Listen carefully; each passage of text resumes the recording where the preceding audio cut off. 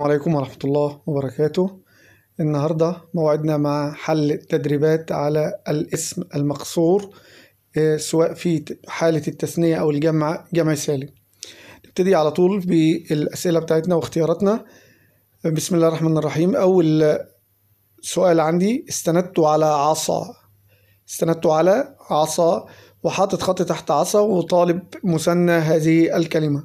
طبعا أنا عندي كلمة عصا آخرها ألف والألف هنا ثلاثية والألف سماوية واقفة على السطر يعني يبقى أصلها واو. يبقى استندت على مظبوط عصوين اللي هي رقم د عندي بعد كده جمع كلمة أدنى. أدنى الألف هنا فيها رابعة فالألف بتحذف في جمع المذكر السالم ومنعوض أو منحط واو ونون ومنترك فتحة فيبقى الاختيار أدنون الأخير.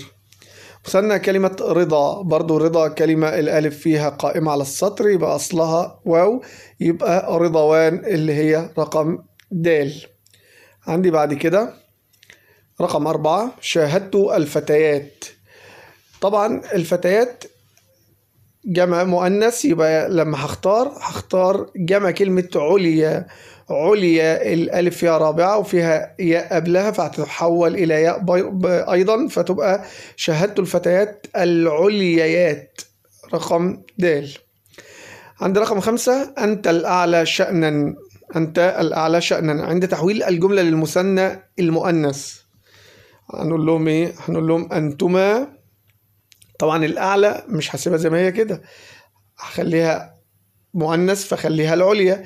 فأقول أنتما العليان شأنا أنتما العليان شأنا اللي هي رقم باء رقم ستة سعى مصطفى إلى أن يحظى بتقدير الناس واحترامهم الاسم المقصور في الجملة ديت هل سعى سعى طبعا ده فعل. وطبعا إلى حرف ويحظى ده فعل. يبقى عندي كلمة مصطفى اللي هي رقم باء. عندي بعد كده رقم سبعة. يقول تعالى إنه من يأتي ربه مجرما فإن له جهنم لا يموت فيها ولا يحيا. هل ما تحته خط ده؟ هل اسم مقصور ولا اسم منقوص ولا اسم ممدود؟ طبعا ولا واحدة من دول ولا يحيا. فعل مضارع. رقم د أنت الأسمى خلقا عشان نحول الجملة دي لجمع المؤنث. أولا هنقول لهم نخاطبهم بأنتن. طبعا برضو الأسمى لازم أجمعها على المؤنث بتاعها. يعني هخليها الأول السمية وأجمعها على الشكل ده فهتبقى أنتن السميات خلقا اللي هي رقم جيم رقم تسعة أساعد نقط لفقره وحاجته إلى المساعدة. مطلوب مني إن أنا أحط اسم مقصور مناسب. طبعا لا هذا تنفع ولا أبا بكر ولا ذا هي كلمة زكريا. رقم عشرة زرت دولتين زرت دولتين. هنقول زرت دولتين إيه؟ مظبوط معايا كبريين اللي هي رقم د آه، رقم 11 بيقول لي الجمل الآتية كلها خطأ ما عدا. الجملة الأولانية بتقول لي أنتم الأعلين قدرا. وب بتقول لي أنتم الأعليون قدرا ورقم ج أنتم الأعلون قدرا ورقم د أنتم الأعلون قدرا. بيقول لي إن هم كلهم خطأ إلا رقم د اللي أنتم الأعلون قدرا هي الجملة الصحيحة.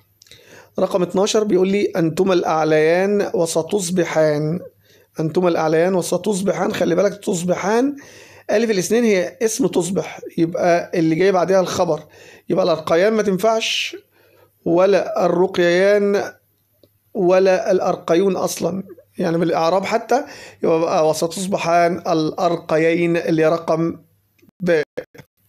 رقم 13 هذا هو الأدنى منزلة. وهذا هو الأدنى منزلة عند تحويل الجملة للمثنى المؤنث. تكون أولا المؤنث يبقى هذان ما تنفعش. يبقى ألف وب طارت معايا في الاختيارات. هتبقى هاتان. هما. هل ينفع أجمع أسني الأدنى على ال- الوضع اللي هي فيه؟ لا. لازم أخليها الأول مؤنث تبقى الدنيا. وسني على كلمة الدنيا اللي هي الدنيايان يبقى الاختيار رقم د عندي 14 الوالدان ينشئان الأبناء تنشئة مثلى. أعرف كلمة مثلى تنشئة مثلى. هو نعت. ينشئان تنشئة. ده مفعول مطلق يبقى نعت منصوب. طب فتحة ظاهرة ولا فتحة مقدرة؟ طبعا فتحة مقدرة اللي هو رقم ألف. خمستاشر. كرم العميد الباحثة المثالية نقط على مستوى الكلية. عايز اسم مقصور. هل أقول الأفضل؟ طبعا لا. باحثة دي مؤنث يبقى الفضلى هي ديت لأن فيها ألف ولام يبقى مطابقة للكلمة اللي قبليها اللي هو المفضل الباحثة عندي بعد كده ينال المتفوق الدرجات نقط. عايزين اسم مقصور برضو مناسب. الدرجات دي جمع وجمع مؤنث يبقى الدرجات العليات. رقم د عندي 17 هاتان شجرتان نقط. الشجرتان هنقول شجرتان إيه؟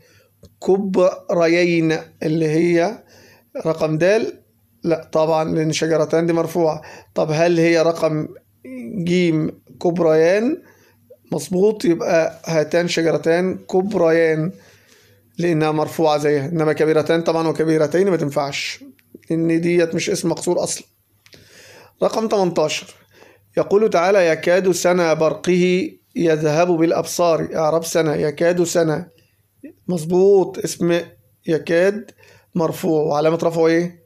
ضمة ظاهرة؟ لا طبعا ضمة مقدرة يبقى رقم د يقول تعالى في رقم 19 يا أيها الذين آمنوا لا تقربوا الصلاة وأنتم سكارى حتى تعلموا ما تقولون. إعراب سكارى وأنتم سكارى. آه صحيح وأنتم سكارى على بعضها. ديت جملة حال. وبالمناسبة الواو دي واو الحال لكن أنتم مبتدأ وسكارى خبر مرفوع بالضمة مظبوط المقدرة. بعد كده رقم 20 مثنى كلمة مصطفى. مصطفى طبعا الألف فيها أكثر من أربع حروف. يبقى هتقلب ياء يبقى مصطفيان. طيب أنا عندي كمان في جيم اللي هو مصطفيين تنفع؟ آه تنفع. يبقى التانية والتالتة اللي هي رقم د رقم 21 يقول تعالى قل إن صلاتي ونسكي ومحياي ومماتي لله رب العالمين. الاسم المقصور في الجملة؟ آه طبعا صلاتي لأ نسكي لأ محياي لأ مماتي لأ. يبقى مفيش ولا واحدة؟ لأ طبعا. عندي كلمة محياي. محيا ومضافة لياء المتكلم.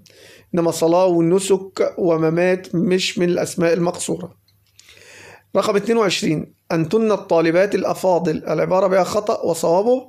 هتبقى أنتن الطالبات إيه بقى؟ الفضليات. مظبوط. اللي هي رقم جيم. لأنها بتجمع على الفضلة.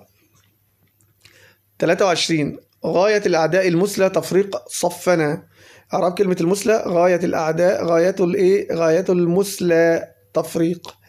هل كلمة غاية والأعداء هل دي الخبر بتاعتها؟ يعني لما أنا أقول غاية الأعداء مالها المثلى لا طبعا فما هيش خبر وطبعا ما هيش مبتدأ فهي نعت.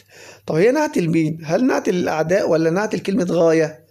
طبعا الله ينور عليكم هو النعت لكلمة غاية اللي هي الايه المبتدأ. طبعا ما تقوليش هنا إن المثلى فيها ألف ولام وغاية نكرة غاية معرفة بالإضافة.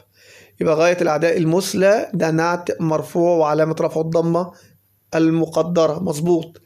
قال الشاعر هو ذا الفجر فقومي ننصرف عن ديار ما لنا فيها صديق.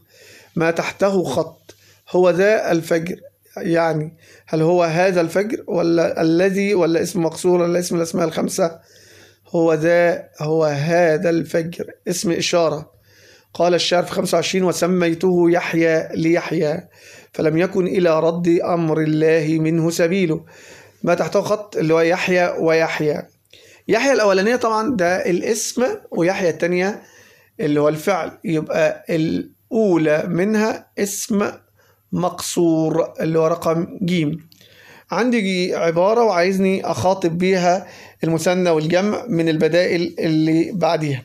العبارة الأول بتقول متى تكن في خدمة الوطن تصبح الأعلى مكانة. عشان نخاطب المثنى هنقول لهم إيه؟ هنقول لهم متى تكون في خدمة الوطن. طيب متى تكون إيه؟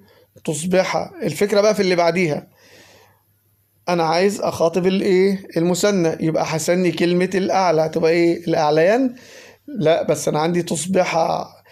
فالاعلى الأعليان دي المفروض تبقى خبر لتصبح. تبقى إيه؟ تصبح الأعليين مكانة. يبقى رقم ألف. طيب لو حبيت بقى أخاطب جمع المذكر هنقول لهم إيه؟ هنقول لهم متى تكون؟ تمام يبقى أول اتنين طاروا. متى تكونوا في خدمة الوطن؟ تصبحوا تصبحوا إيه بقى؟ هل تصبحوا الأعلون ولا الأعلين؟ تصبحوا الأعلين مكانة الرقم جيم.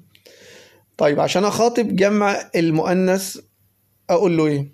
هقول لهم متى تكن في خدمة الوطن؟ تصبحن. كل ده تمام. هقول لهم تصبحن إيه؟ هل أجمع على الأعليات؟ طبعا لا. الأعلوات لا. العليات أيوه العليات لأن أنا بجمع على المؤنث اللي هو العليا يبقى رقم جيم. عندنا في ختام الفقرة هاخد مجموعة من الكلمات وأشوف كشفها في المعجم إيه عندي كلمة رضا نكشف عنها فيه مظبوط رضوى مصطفى في صفية كلمة يضيء في ضواء اللي به كلمة الأعداء في عدوى الدنيا في دنوى آه كده نكون آه الحمد لله أنهينا الفقرة التدريبات لدرس الاسم المقصور. أرجو أن تكونوا استفدتم وإن شاء الله بإذن الله مكملين في المنهج لأولى ثانوي سواء الحل أو التدريبات. والسلام عليكم ورحمة الله